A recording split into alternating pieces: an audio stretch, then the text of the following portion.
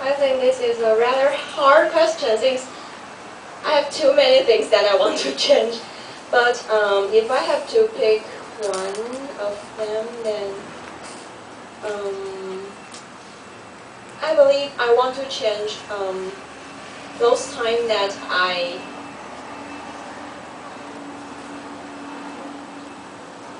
I want to change uh, about uh, I want to spend more time to keep my grandpa company. Yeah, he died when I was in the second grade of elementary school.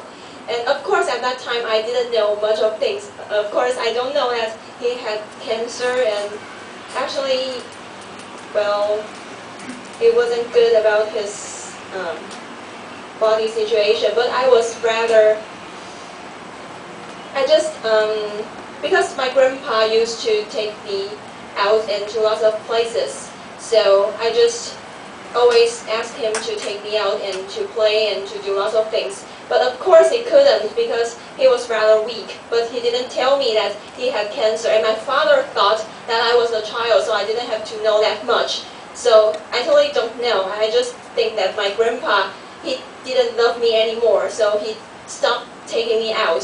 And I just, like, I got angry. I don't talk to him. Yeah.